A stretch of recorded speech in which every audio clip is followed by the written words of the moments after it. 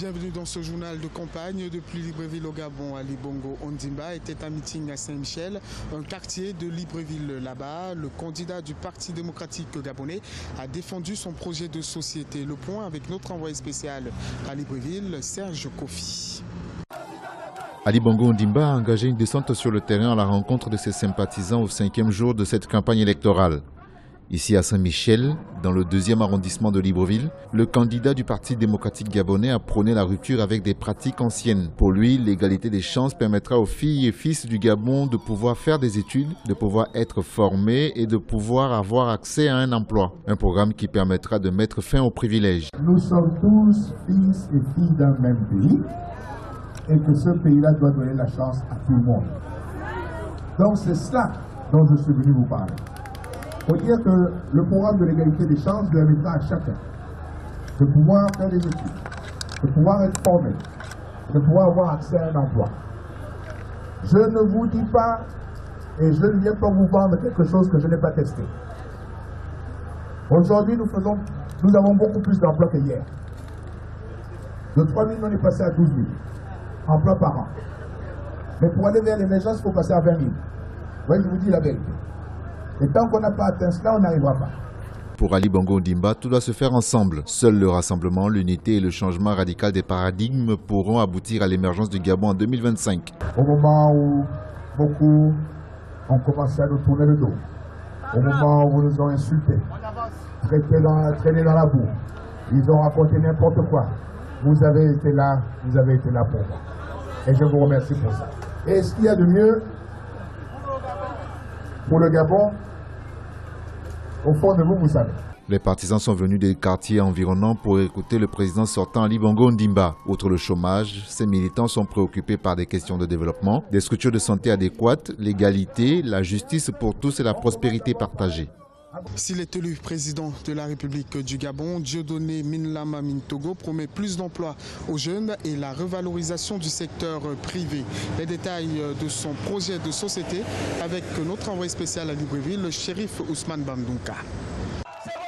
Dieudonné Minlama Mintogo, candidat de la Convention nationale de l'intervention, a décliné son projet de société au cours de son premier meeting de campagne au collège Tchoréré de Libreville. Face à ses militants, le candidat a promis la mise en place d'un plan de promotion de l'entrepreneuriat des jeunes et la valorisation du secteur privé. C'est l'un des plus grands programmes que moi je vais faire. Je vais faire que chaque Gabonais puisse devenir entrepreneur, qu'il puisse lui-même bénéficier des richesses du pays. Dans ses engagements pour un Gabon nouveau, Dieudonné Minglama Togo envisage lutter contre les inégalités sociales et la lutte contre la corruption. Je vais aussi régler un problème important. C'est l'injustice sociale. Vous comprenez? Je vais lutter contre la corruption. Vous comprenez? Parce que c'est la corruption qui fait qu'on n'arrive pas à s'occuper des Gabonais.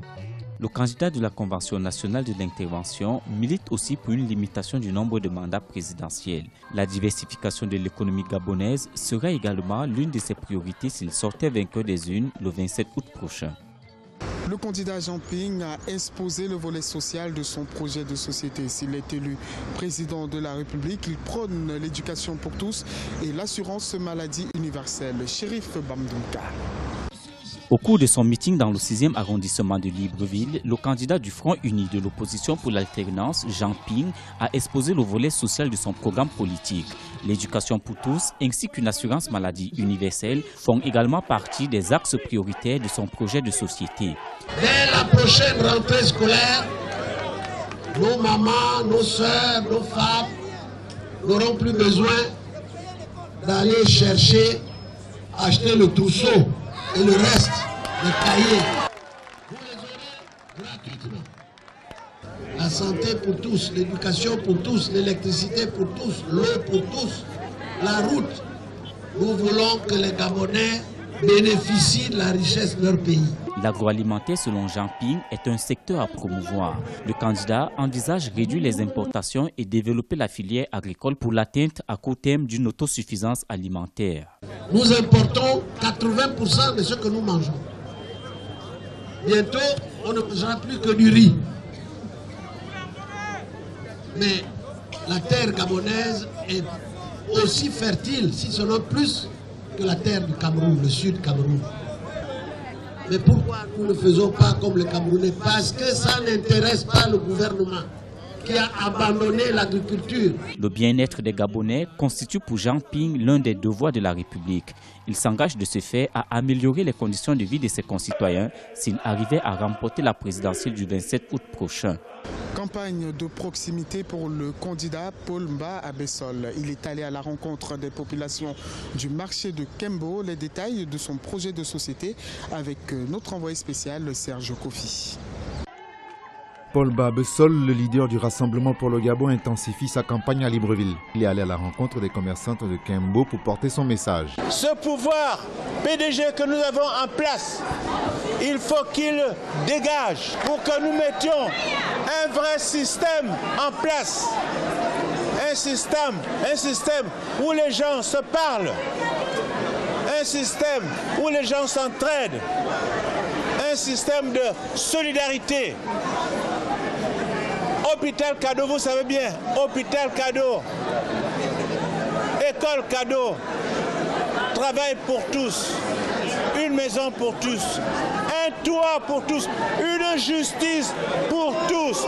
À l'écoute des vendeuses des marchés de Libreville, Paul Babesol les a encouragés à la rigueur et au courage. S'il est élu au soir du 27 août, il entend lancer urgemment des réformes fondamentales pour changer le Gabon et la vie des Gabonais. Pour écouter le meeting du RPG, on n'achète personne. Nous sommes un parti d'hommes et de femmes libres. On ne paye personne.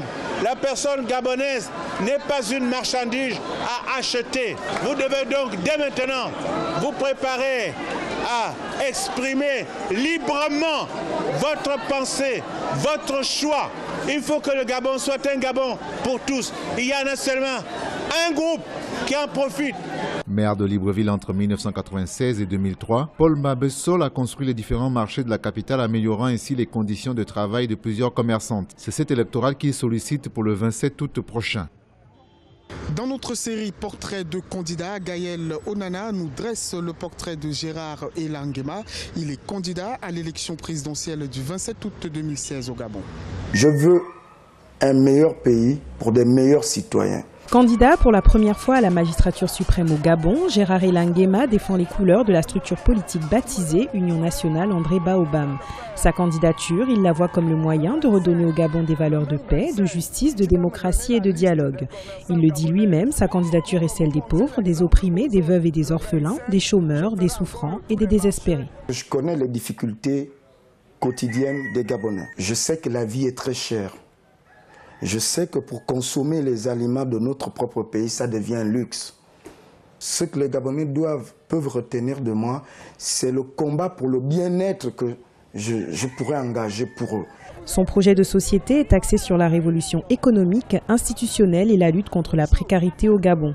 S'il est élu président, Gérard Elangema compte mettre en place plusieurs réformes constitutionnelles, parmi lesquelles une révision du mode de scrutin lors de l'élection présidentielle et la modification de la durée du mandat présidentiel. Je ne suis plus d'avis, ou je ne suis pas d'avis, autant pour moi, que le président de la République son mandat ne soit pas limité. Je ne suis pas d'accord qu'il n'y ait pas d'élection à deux tours dans notre pays. Je veux euh, engager une véritable séparation de pouvoir où le président de la République ne nommera plus le président de la Cour constitutionnelle. Ancien secrétaire exécutif adjoint de l'Union nationale, Gérard Elangema fait partie des candidats les plus jeunes de cette élection présidentielle. Il milite pour une jeunesse libre et non influencée par le pouvoir. Pour cela, il appelle les jeunes à se mobiliser pour la préservation de la paix au Gabon, des objectifs qu'il se dit persuadé d'atteindre s'il est élu au lendemain du 27 août 2016. Merci d'avoir suivi ce journal de campagne sur Africa 24, la première chaîne d'information africaine. A très bientôt sur nos antennes.